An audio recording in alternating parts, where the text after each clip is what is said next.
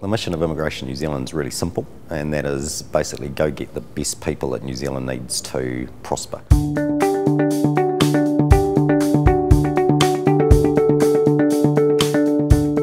Brought me up to Silicon Valley? Uh, for a couple of years now, we've been uh, sort of building networks and partnerships in uh, the west coast of, of, the US and in Silicon Valley.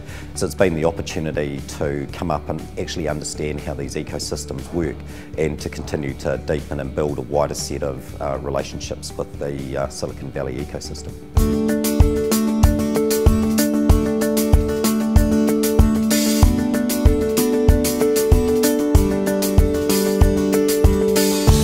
This trip's been really important from the perspective of Nigel meeting people and talking to people and getting new insights. I suppose the big insights for me is just some of the cultural um, aspects to what makes uh, these ecosystems uh, work.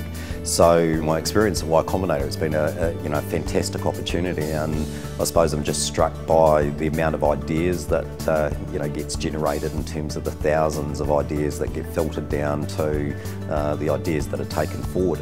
Obviously spent some time with uh, Brian and, and, and Matt and the team at Inflection had the opportunity to go out uh, to Google and meet Victoria Ransom and you know, incredibly proud to see a Kiwi entrepreneur uh, that went on to successfully start up her own business that was acquired by Google. And she talked about linking it up to the international education system within New Zealand.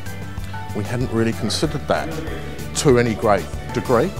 And so building that in is something that I think will go away go away and do now. Some of the main highlights from the dinner last night was just the, um, the diversity of uh, the people that I got to uh, meet, but uh, again the underlying interest in uh, New Zealand. I, I, suppose I came away uh, sort of thinking uh, that quite hopeful that the values and bandwidth and you know the people that I meet, you, you feel confident for humanity that actually these problems can be um, solved and technology's got, uh, you know, uh, that, that, that sort of power to really solve the world's problems.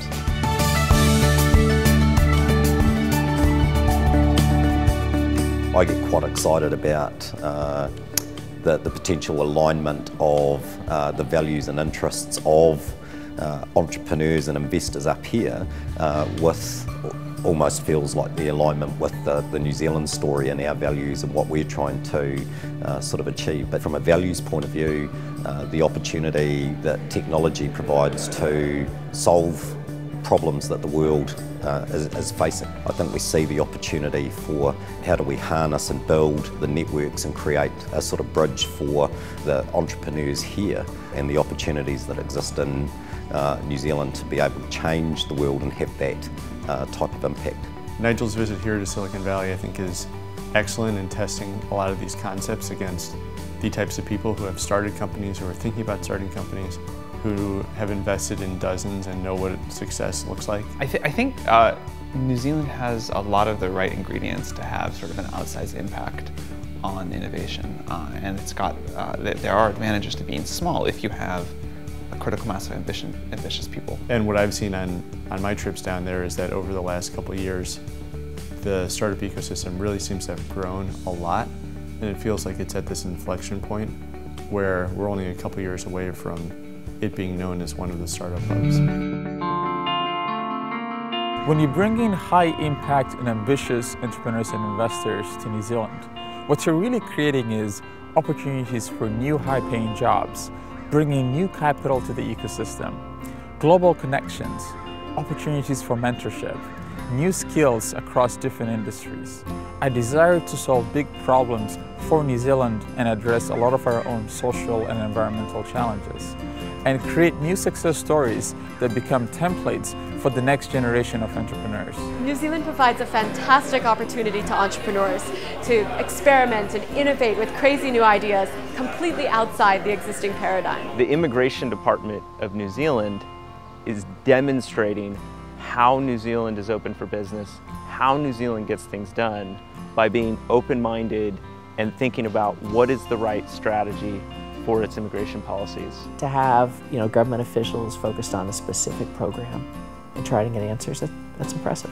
Our role in immigration is pretty unique by most world standards. Uh, we're very focused on supporting our economy and uh, finding the talent and the capital and the international networks that can bring New Zealand closer to the rest of the world, that can grow our economy. I think uh, New Zealand fundamentally is a you know, first world modern country that punches well above its uh, weight, is internationally well regarded and has an emerging ecosystem where people with the right ideas uh, can um, thrive and be successful.